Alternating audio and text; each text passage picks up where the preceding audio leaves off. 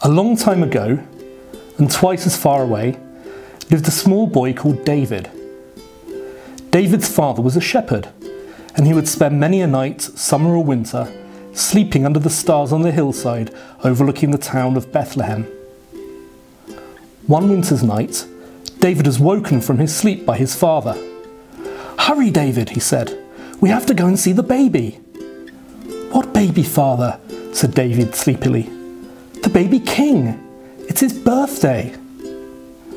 A baby king on his birthday, thought David. I must take him a gift. He looked in his sack.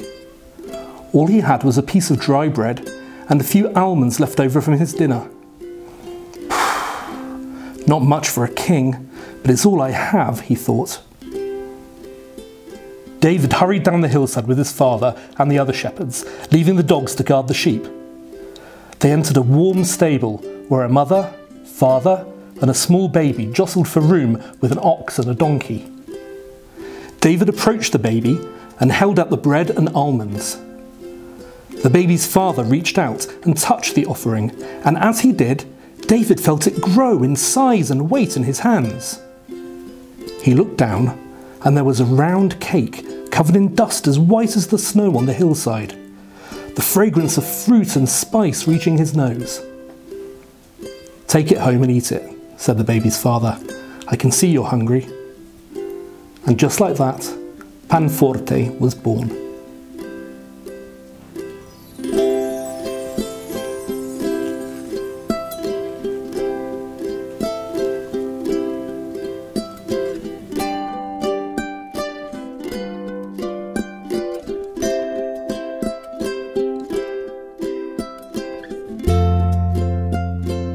So, as you can see, it snowed overnight. Winter's arrived just in time for the first of our chestnuts and truffles Christmas recipes. And today we're going to be making panforte. Panforte is a cake from the province of Siena in southern Tuscany, and it's been made there for hundreds and hundreds of years, but it's now associated with Christmas. So the ingredients for panforte are as follows. You've got 150 grams of type 0 flour. And if you saw my blog post a couple of weeks ago about Italian flour, you'll know exactly what that means. Um, then we've got 200 grams of almonds, which have been shelled but have still got the brown skin on them. And then we've got 10 grams of spice mix for panforte, which includes 5 grams of ground coriander, 3 grams of ground cinnamon, 1 gram of ground nutmeg and 1 gram of ground cloves. Then we've got 220 grams of granulated sugar, 50 grams of water, 50 grams of honey, 220 grams of candied orange peel, and then 150 grams of candied citron peel.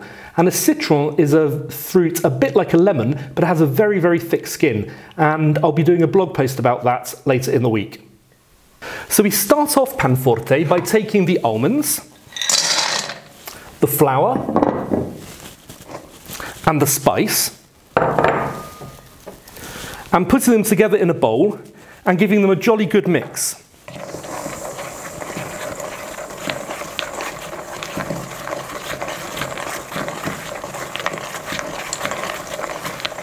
Mmm. These spices really smell like Christmas. Okay, so when we've done that, we put that to one side, and then we're going to make a sugar syrup.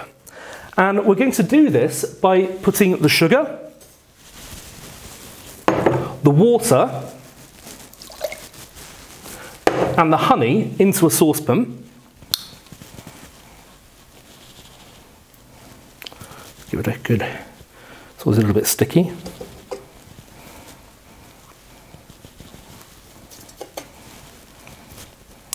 Get every last bit out.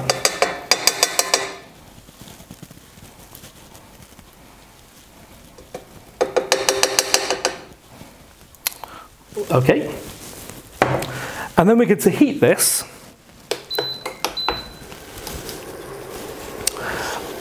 And what we want is the sugar to melt into the water and the honey to melt together to make a liquid.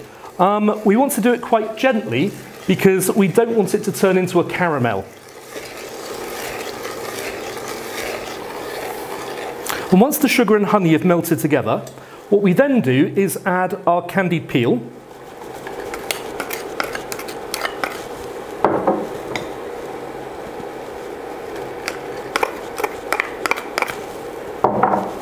And mix it all together.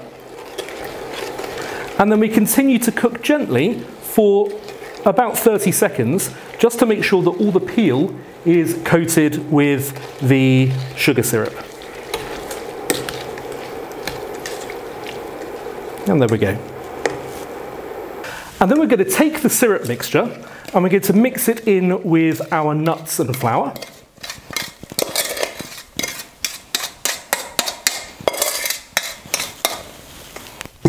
And again, give it a jolly good stir. What we're looking for here is for everything to come together and um, for the nuts and the peel uh, to be evenly distributed within the mixture. You don't want any powder. It's going to be quite a thick mixture, um, but that's what you're looking for. Give it a good stir.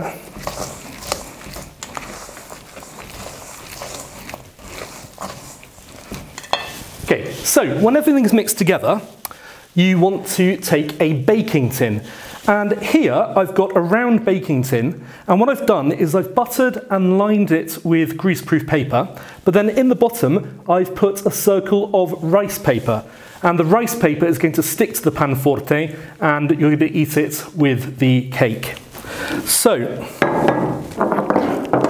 what I do is I just put my mixture into the cake tin, pour it all in.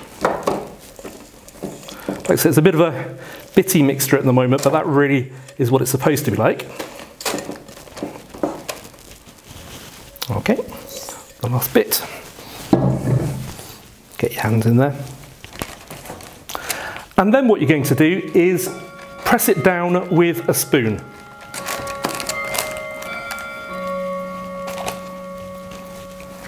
And you want to press it down so it's pretty level. It will look very bumpy, the top will look very uneven, but it's actually supposed to look like that, so don't worry too much. Just smooth it out with a spoon.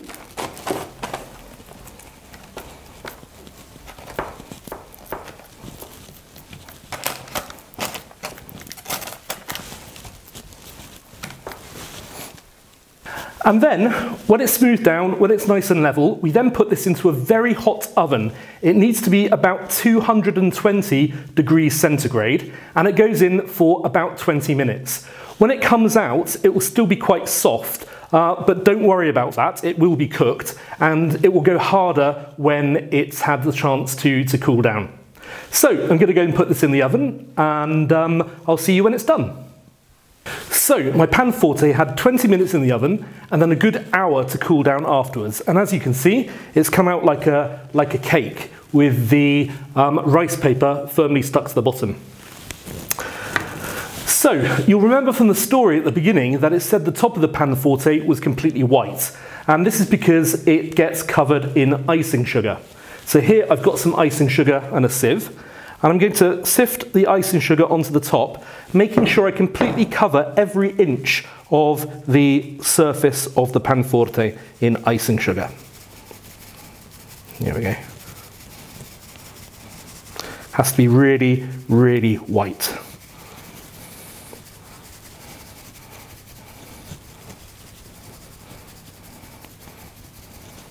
A little bit more. That's it just as white as the snow that's really on the mountains uh, today, as you saw earlier. Okay, so my panforte is now finished. I'm now going to transfer it onto a serving dish.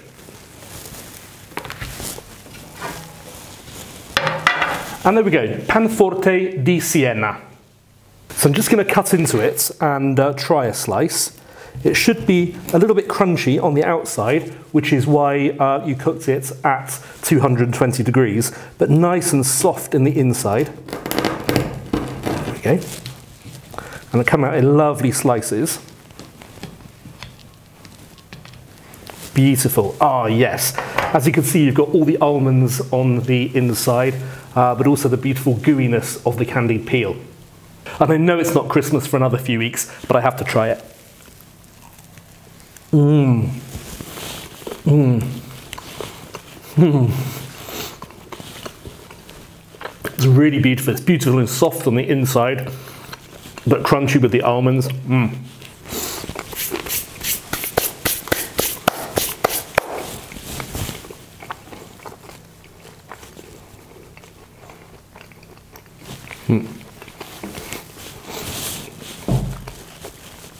So that's the first of our Christmas recipes here at Chestnuts and Truffles, but it's going to be Christmas for the next few weeks as we work our way through some Tuscan Christmas classics. So click the subscribe button if you want to be informed of new videos, and I will see you next week.